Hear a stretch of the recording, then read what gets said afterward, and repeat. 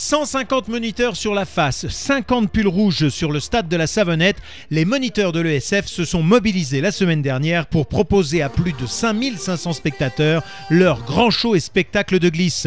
Tout a commencé par le tableau costumé de l'histoire du ski à Val d'Isère. Puis la descente au flambeau a dessiné une chenille lumineuse régulière sur la face olympique. Avant le service de la traditionnelle boisson chaude servie dans des gobelets consignés, respect de l'environnement oblige, les vacanciers ont assisté à un double spectacle pyrotechnique sur la face de Bellevarde et au pied de Solèze pour couronner l'événement. C'est merveilleux, c'est merveilleux.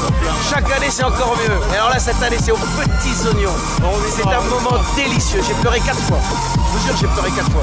La vérité, hein, c'est magique.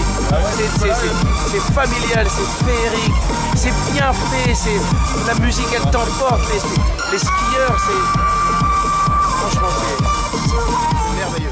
C'était la dernière descente au flambeau de la saison. Il faudra maintenant attendre les prochaines vacances de Noël pour en profiter.